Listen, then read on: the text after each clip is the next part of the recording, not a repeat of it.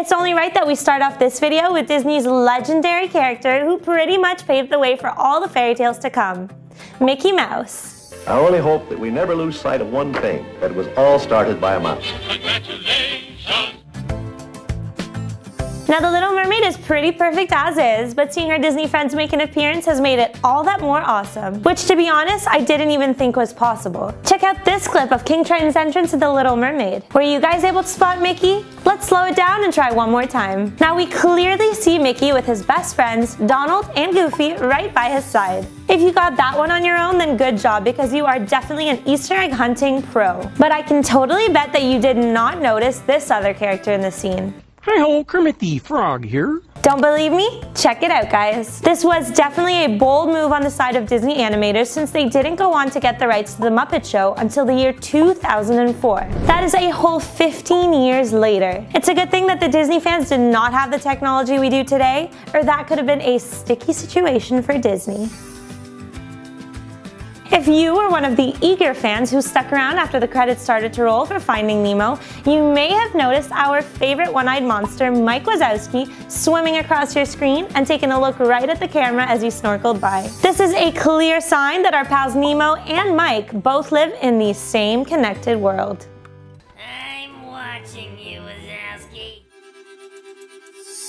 For a tale as old as time, it sure has quite a bit in common with a jungle adventure, which doesn't take place until 10 years after Belle's Beauty and the Beast. So, um, what you gonna call it?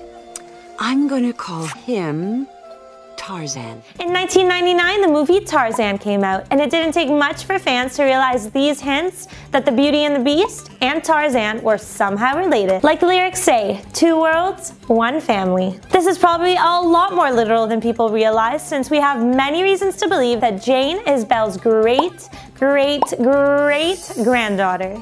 Jane certainly seems to have the same style as Belle, and don't even get me started on their attraction for big, brave, and beastly men. If that isn't enough to connect the two, how about the fact that we see Mrs. Potts and Chip make an appearance. This could definitely have been a tea set that Belle and her family kept throughout the generations. This could definitely be a great reminder for future generations that being mean to old ladies who come knocking on your door has its consequences.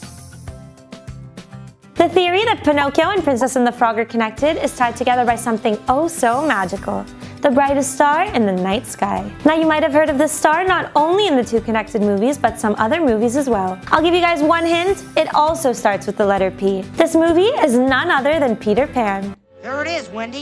Second star to the right and straight on till morning. So where exactly did we see this star? For starters, in Pinocchio we see Geppetto, who is Pinocchio's father, wish with all his might on the brightest star in the night sky in hopes that one day Pinocchio might become a real boy.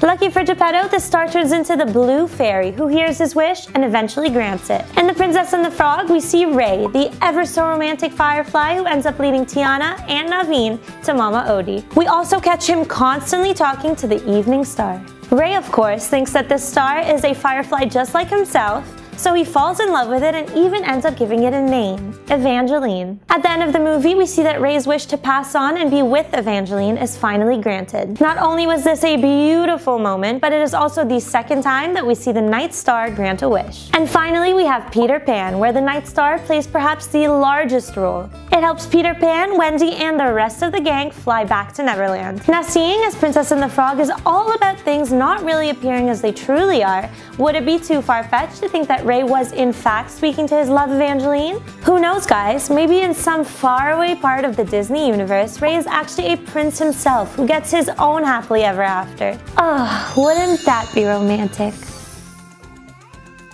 Both Moana and Lilo from Lilo and Stitch are set in very similar tropical settings. Moana is from the Polynesian Islands and Lilo is from Hawaii. Many Disney fans were quick to point out this Easter egg of Moana sheltering a baby turtle with a leaf and helping it get into the water. Now we see this same scene after the end credits in Lilo and Stitch. Now is this Easter egg enough to connect the two storylines together? Probably not but this might be. Check out this photo of David, Nani's friend from Lilo and Stitch. Notice anything peculiar? The necklace he's wearing is pretty identical to Maui's fish hook, isn't it? But what exactly does that mean and how did David get his hands on a demigod's magic staff? The answer is a peanut butter eating tropical fish called Pudge, who, by the way, also controls the weather. I'm late because I had to go to the store and get peanut butter because all we have is is stinking tuna. Lilo, Lilo, why is this so important? Pudge controls the weather. Now, didn't Maui sing about being able to lasso the sun to stretch our days and bring us fun? And why would Lilo want Maui to keep the sun around? The reason is actually very sad. Now, as some of you might remember, Lilo's parents were said to have died in a car crash on a rainy night. Now, is it possible that because Maui wasn't properly able to do his job and protect the people of Hawaii, the other gods decided that he should be turned into a fish until they decided otherwise? Now, it could explain a lot since David is definitely shown as a great surfer as he wears his necklace. With everything else we've talked about today, this theory does not seem too far-fetched. Thank you for watching guys and that is the end of our video and all I've got for you today. Now I want to know of any other connections that you guys have made so let me know in the comments section below. I am always on the lookout for the next big Disney scoop so be sure to get creative. Now as always don't forget to like, subscribe, hit me up on Instagram and I'll see you next time on The Things.